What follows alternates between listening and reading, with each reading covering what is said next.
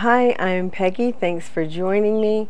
Today I'd like to show you just how easy it is to install Gardenreet accent lighting and how it can totally transform your landscaping. So let's get started. This video is sponsored by Gardenreet. Garden Reed provided me with this complete accent lighting set in exchange for my honest review. The lighting kit arrived in two days in two very heavy boxes. So here's a look at everything included in the accent lighting kit with eight lights. Everything is individually packaged as you can see.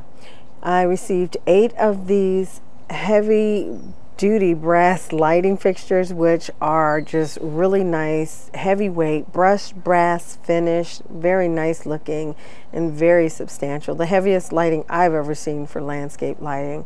And each one has an additional six feet of cord that comes with the connectors. That's just the box that the lighting was in. It comes with um, the bulbs for the lighting stakes for each light this kit came with 100 feet of low voltage wiring, comes with a timer,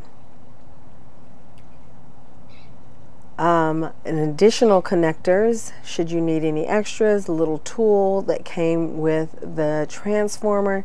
And this is the transformer. And the stainless steel box nice and heavy um, everything just seems to be very solid very nice quality I'm impressed, I must say.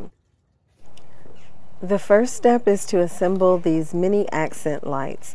This kit has eight. Everything I need for each fixture is packaged in the box, which makes it very convenient.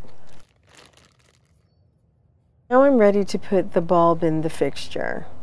So I'm going to unscrew the top and as you can see it has two weatherproofing O-rings to keep moisture and water from getting down into the fixture. To put in the bulb I simply align the prongs on the bulb with the holes in the fixture and press the bulb down between the two clamps, aligning the prongs and the holes. To add the stake, I pass the wire through the opening at the top of the stake and then twisted the head of the lighting fixture into the stake until it was tight. I repeated all of these steps until all of my lighting fixtures were assembled. The next step is mounting the transformer. I did enlist some assistance in this step. However, one of the most important things to keep in mind when mounting your transformer is that you do need an electrical outlet nearby. For that reason, I opted to have my transformer mounted in the back area of my screen room. Next, I dug a trench in my garden area and laid out the wire to make sure that the wiring would go from my transformer to where I wanted to place lights. Once that was determined, it was time to start connecting the lights. This required stripping back the plastic on the wiring to expose the wire itself, separating it into two wires, then connecting it to the wires coming from the transformer. Once the wires were joined, they were capped off using a connector. This process was followed for each light. Please keep in mind we are not electricians, so if you have any electrical questions, please um, ask a professional. This is just how we set up ours. Once each light was connected to the wiring, we did a test run just to make sure that the lights work before burying the cable.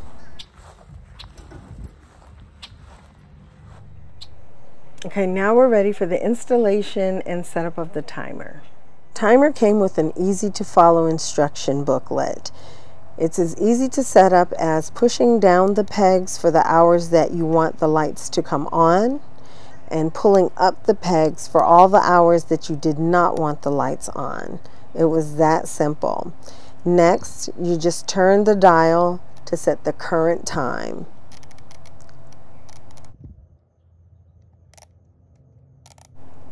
Then go to the top of the timer and slide the little tab over to the area that says timer on.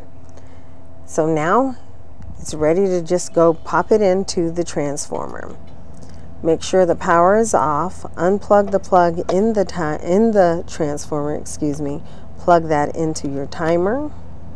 Plug your timer into the transformer and your transformer is now on timer. And also note that the wires that the lights are connected into are coming in through the bottom of the box and they are in the first two slots on my transformer based on the voltage that I'm using. Now my transformer is ready to go.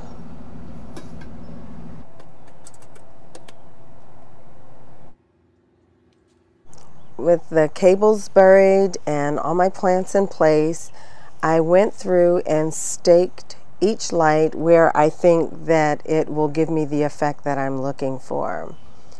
So in this case, since I live on the water, I was kind of more concerned about how things look from my patio.